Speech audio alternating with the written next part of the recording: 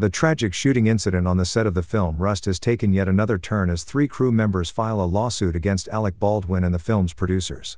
This latest lawsuit adds to the growing list of legal troubles facing the movie's production team in the wake of Halyna Hutchins' death. The lawsuit filed by Ross Addiego, Doran Curtin, and Reese Price alleges that they suffered from anxiety, post traumatic stress disorder, and blast injuries as a result of the incident. They claim to have been near Baldwin when the gun was fired, and to have experienced the deafening sound of the shot, which left them with injuries and psychological trauma. The suit also points fingers at the producers, accusing them of cutting corners by hiring inexperienced individuals, including Hannah Gutierrez Reed, the armorer who loaded the gun with the live round that killed Hutchins. The lawsuit alleges that the producers wanted a quick and cheap production, and that this led to the hiring of unqualified and unsafe crew members. Baldwin, who has denied pulling the trigger, is facing a charge of involuntary manslaughter. Gutierrez Reed, the armorer, is also facing the same charge. Both have pleaded not guilty.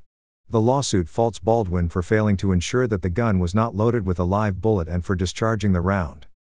Other crew members have also filed lawsuits, including the script supervisor, set medic, and gaffer.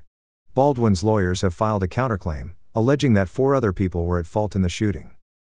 The tragedy has not only resulted in legal battles but also raised questions about the safety of film sets and the use of firearms in movies. The incident has sparked a debate about the need for stricter regulations and safety protocols in the movie industry. Despite the tragic incident, the producers of Rust are planning to resume shooting this spring, with Baldwin still in the lead role.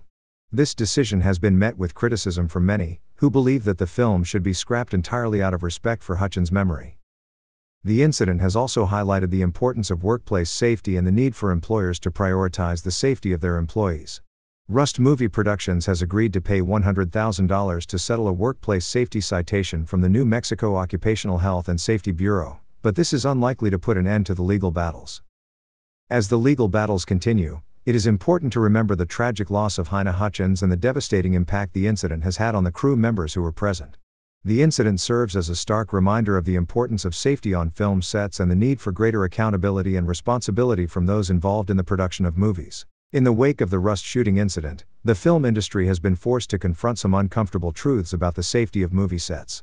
While most productions are conducted with safety in mind, accidents can and do happen, and it is up to the employers and producers to ensure that all possible precautions are taken to prevent such incidents from occurring.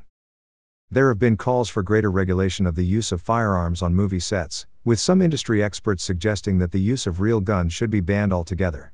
Others have called for stricter safety protocols and increased training for those involved in handling firearms. The incident has also highlighted the need for greater support for those who have experienced trauma on movie sets. The crew members who have filed lawsuits against Alec Baldwin and the producers of Rust are not only seeking compensation for their injuries but also for the psychological trauma they have experienced as a result of the incident. It is essential that those who have been affected by such incidents are provided with the support they need to heal and recover. The incident has also had a profound impact on the family and friends of Halyna Hutchins, who tragically lost her life in the incident. Her widower, Matthew, filed a lawsuit last year and has been vocal in his criticism of the producers of Rust. While he has agreed to a settlement that will allow the film to be completed, he has called for greater accountability in the industry and has urged producers to prioritize the safety of their employees. As the legal battles continue, it remains to be seen what the long term impact of the Rust shooting will be on the film industry.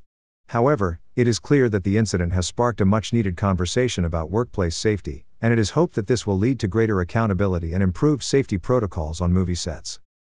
In the meantime, our thoughts are with the family and friends of Halyna Hutchins, as well as with the crew members who have been affected by this tragedy.